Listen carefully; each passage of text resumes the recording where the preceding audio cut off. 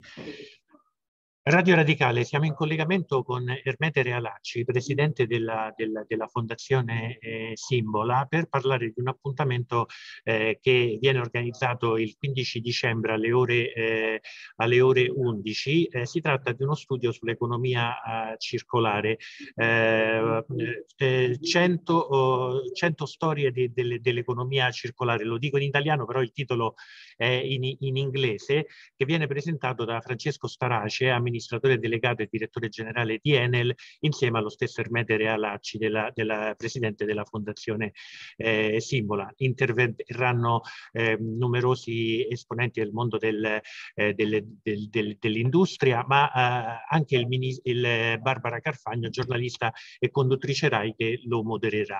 Allora, perché è importante l'economia circolare in un momento in cui eh, diciamo scarseggiano le materie, le materie prime ci, eh, ci apprestiamo ad affrontare una grave stagione di, eh, diciamo di, di, di aumento delle, delle, de, dell'inflazione e di prezzi delle, delle, bollette. In che cosa possiamo, uh, diciamo, che cosa possiamo imparare dall'economia circolare in una fase così uh, piena di speranze ma anche così drammatica e piena di insidie e di, e incognite? Allora, uh, perché è importante questa iniziativa? Beh, perché cerca di vedere l'Italia con occhi un po' diversi partendo dall'Italia che c'è. C'è uno slogan che la Fondazione Simbolo usa molto che dice che l'Italia deve fare l'Italia. Eh, noi italiani abbiamo la caratteristica, insomma, in maniera più, molto più spinta degli altri paesi, di essere capaci di vedere i nostri difetti. No? Eh, Longanesi diceva che il peggior difetto degli italiani è di parlare sempre dei propri difetti no? eh, senza affrontarli, ma di essere incapaci di vedere invece i nostri punti di forza e puntare su di loro per costruire un futuro migliore. Ora, in questa situazione che è caratterizzata dalle cose che tu dicevi, no? ma che è caratterizzata anche più in generale da una grande sfida sul tema della, della crisi climatica, delle politiche ambientali, l'Italia può mettere in campo spesso pratiche sottovalutate, ma che ci vedono assolutamente all'avanguardia, leader.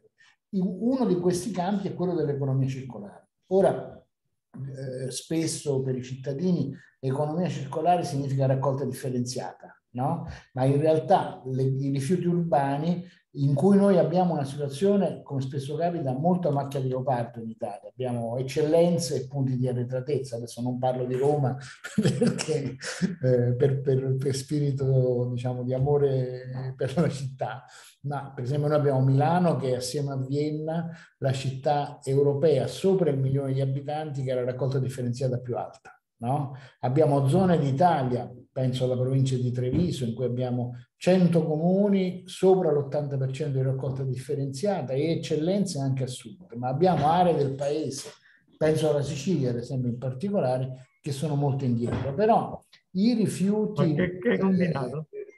era entrato qualcuno in stanza.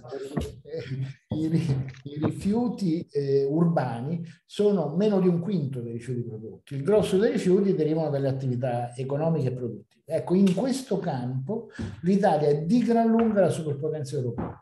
Noi recuperiamo il doppio delle materie prime della media europea, molto più dei tedeschi ad esempio come sappiamo la Germania è il più grande paese manifatturiero d'Europa, noi siamo il secondo paese manifatturiero d'Europa e questo ci fa risparmiare ogni anno 23 eh, milioni di tonnellate equivalenti di petrolio, 63 milioni di tonnellate equivalenti di emissioni di CO2, tantissimo. Perché è accaduto questo?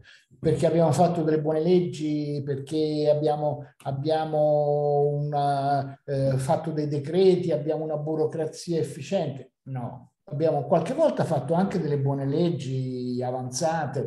Adesso visto che, che ieri da, su qualche giornale avevano ricordato un mio emendamento che quattro anni fa eh, produsse per la prima volta in un paese del mondo l'eliminazione dei cotton fioc e delle microplastiche nei cosmetici. Abbiamo fatto delle buone leggi in questo e in altri campi, sulla chimica verde, ma in realtà la nostra forza deriva soprattutto dalla nostra antropologia produttiva, possiamo dire. Noi siamo un paese povero di materie prime e quindi nel corso dei secoli abbiamo dovuto costruire filiere che sono più efficienti i rottami di Brescia, gli stracci di Prato, le cartiere della Lucchesia non sono figlie di una legge, no? Sono figlie di una necessità di rispondere a questa carenza di materie prime.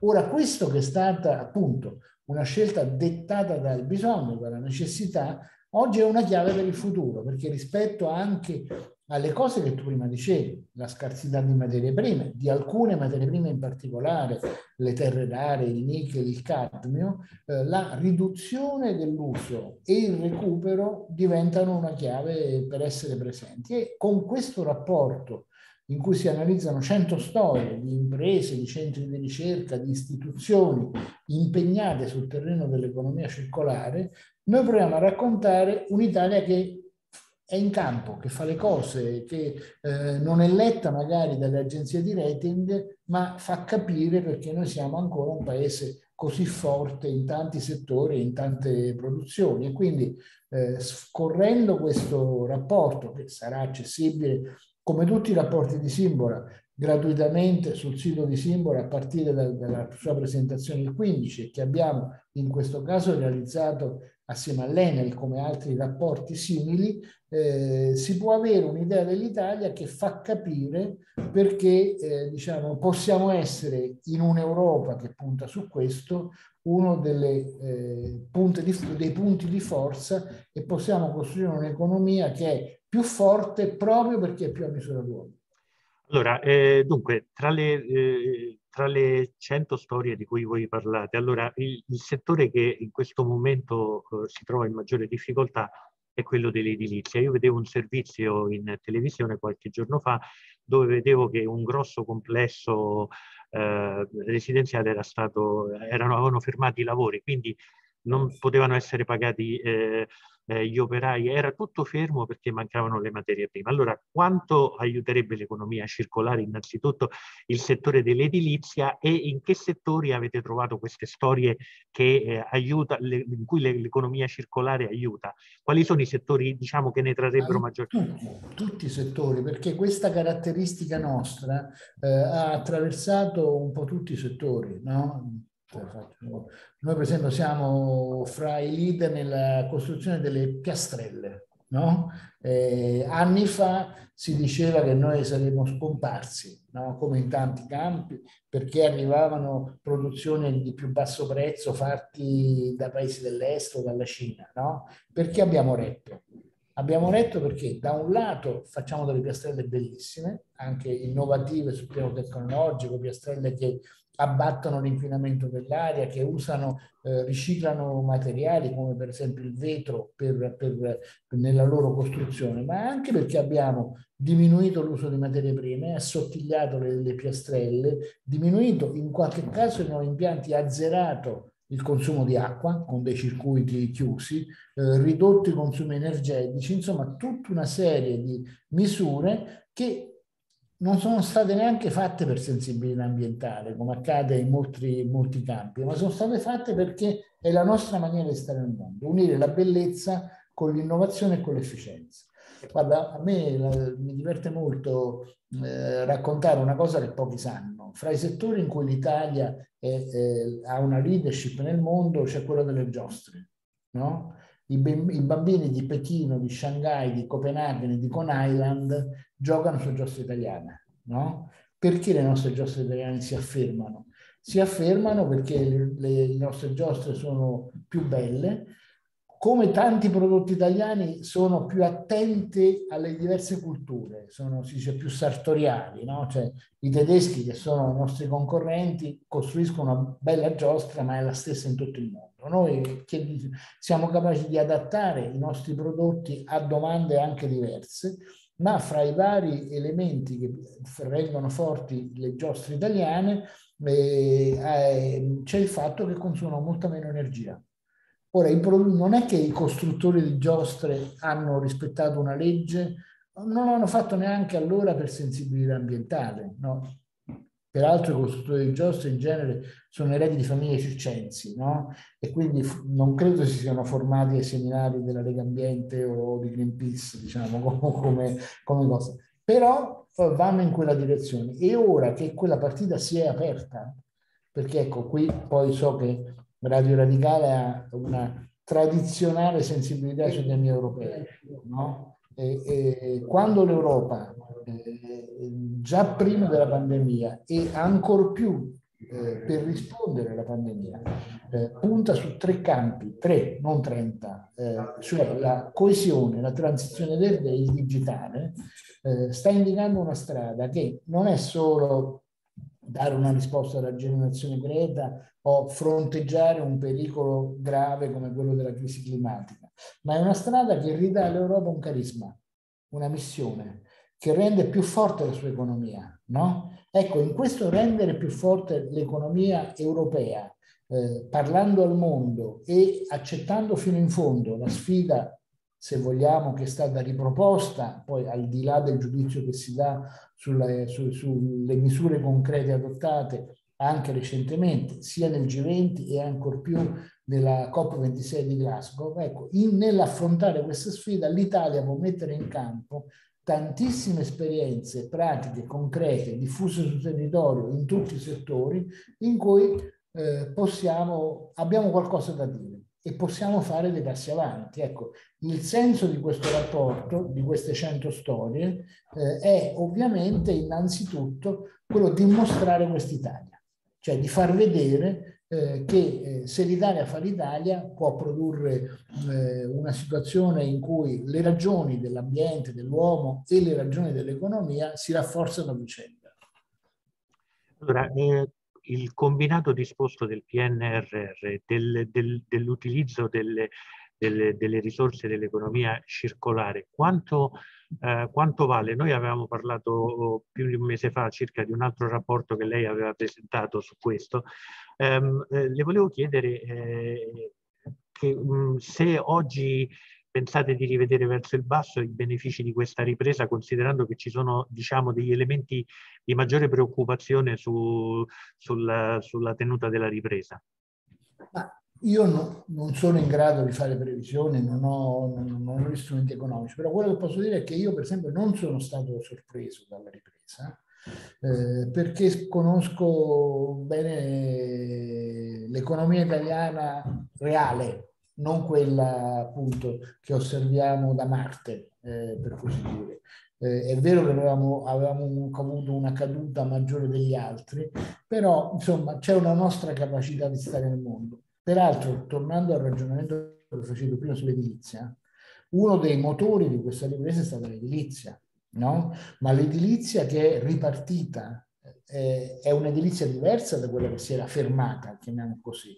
Eh, se uno va a vedere per esempio i dati sull'occupazione, che sono ovviamente importantissimi, prima della pandemia l'Italia aveva recuperato il livello occupazionale che aveva nel 2008, nella grande crisi economica, però in questo recupero c'era un grande buco, che erano circa 600.000 posti di lavoro persi nella filiera dell'edilizia. Adesso si è invertita questa tendenza.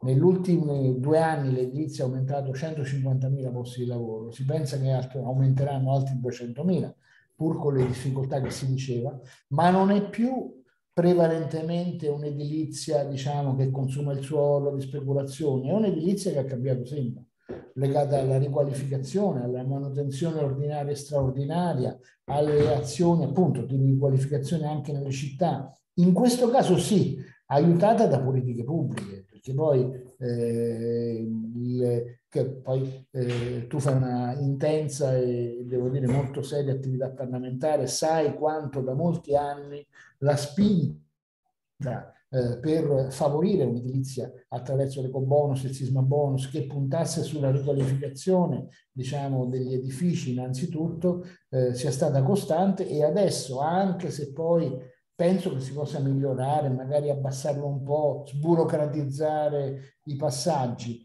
Quella spinta è quella che fa dare una, una grosso, un grosso aiuto alla ripartenza di una nuova edilizia che per l'appunto è più attenta a queste cose. Aggiungo che la politica spesso queste cose le guarda insomma in maniera un po' superficiale e distratta e perfino buona eh, perché per esempio noi in questo paese noi abbiamo avuto un grandissimo dibattito intorno all'eliminazione dell'IMU sulla prima casa. Quando è stata eliminata l'IMU sulla prima casa, No? Eh, eh, questa valeva in media 220 euro a famiglia, 230 euro a famiglia in media. Fra una casa costruita bene e una casa costruita male, prima degli aumenti delle bollette che ci sono adesso, no? eh, il, c'era una, una differenza fra mille, di 1.500 e 2.000 euro eh, fra una casa che non consumava energia. Ridurre di un terzo quel, quel, quel, quella spesa eh, l'Europa chiede che nei nuovi edifici sia un consumo quasi zero, si può andare molto oltre un terzo, significa il triplo dell'IMU.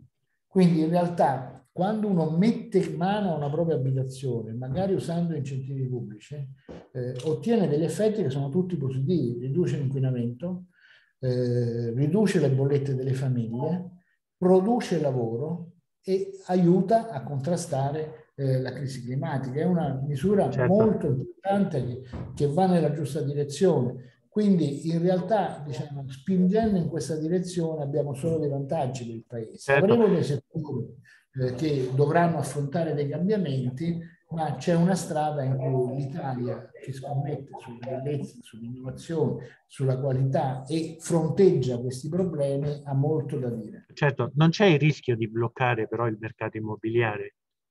Eh, Perché? Nel senso, c'è questa direttiva, per esempio, che eh, eh, impone diciamo, una determinata classe di, eh, energetica per, per, le abitazioni. Allora, eh, se questa non, diciamo, non, non, viene, non viene, raggiunta, eh, eh, ci sarebbe, secondo almeno quello che è stato speso in una direttiva, il divieto di, di, di vendita. Ecco, questo potrebbe potrebbe bloccare insomma, il mercato immobiliare. C'è questo rischio. non ho capito.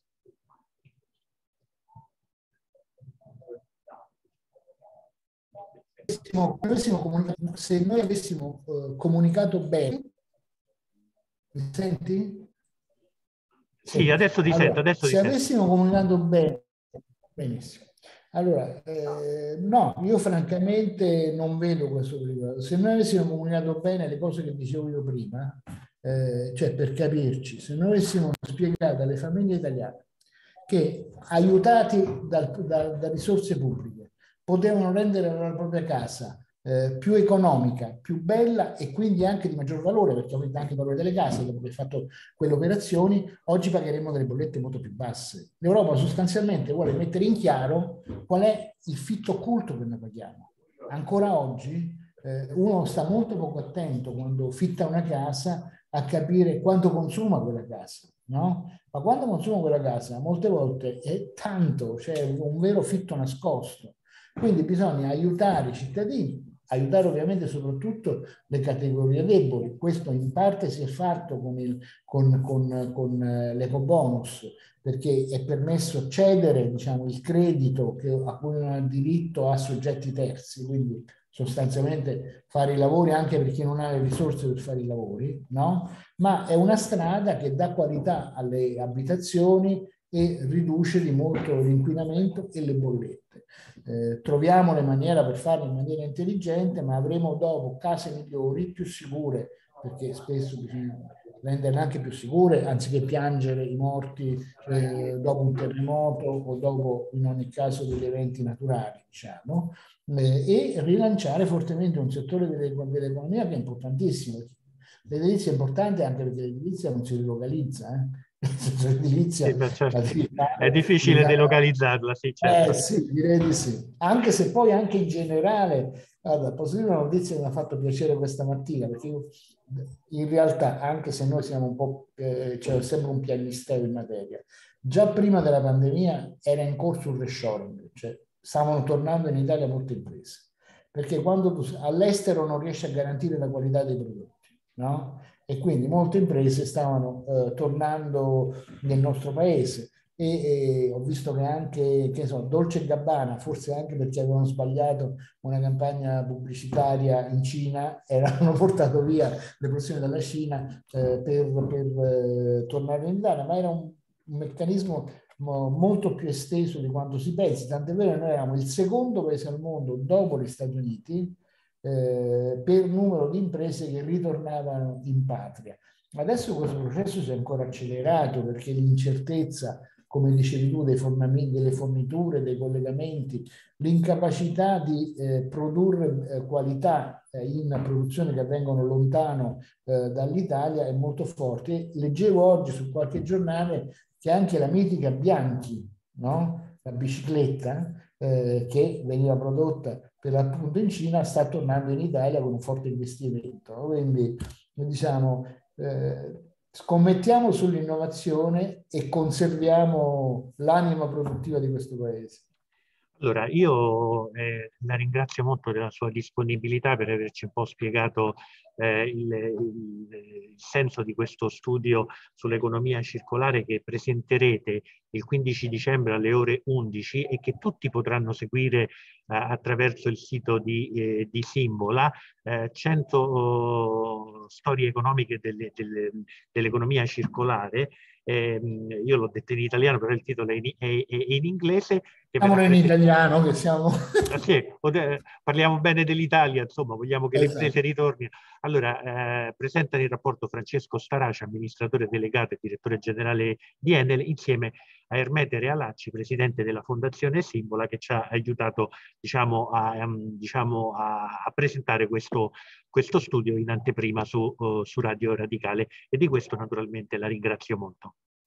Io ringrazio Radio Radicale che fa sempre un servizio prezioso in tanti campi e se si occuperà sempre più di questa frontiera dell'Europa e dell'Italia sarà ancora più apprezzata. Grazie Ermete Realacci.